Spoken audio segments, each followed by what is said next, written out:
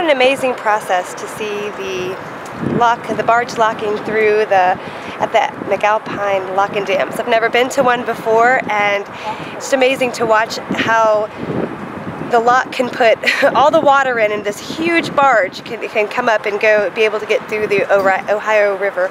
It's amazing. Got to give a big shout out to our Louisville district who are the brains behind this operation. So uh, it's, a, it's amazing. It's an amazing uh, site visit. I've never been to a lock and dam and it just so happened that our timing was perfect. It's pretty amazing to see this process.